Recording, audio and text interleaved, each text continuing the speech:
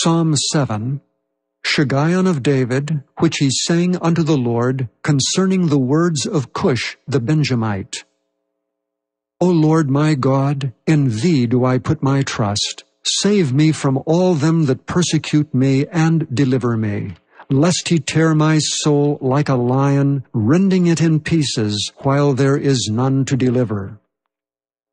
O Lord my God, if I have done this, if there be iniquity in my hands, if I have rewarded evil unto him that was at peace with me, yea, I have delivered him that without cause is mine enemy, let the enemy persecute my soul and take it, yea, let him tread down my life upon the earth and lay mine honor in the dust. Selah. Arise, O Lord, in thine anger, lift up thyself because of the rage of mine enemies, and awake for me to the judgment that thou hast commanded. So shall the congregation of the people compass thee about. For their sakes therefore return thou on high. The Lord shall judge the people. Judge me, O Lord, according to my righteousness, and according to mine integrity that is in me. O let the wickedness of the wicked come to an end, but establish the just, for the righteous God trieth the hearts and reins.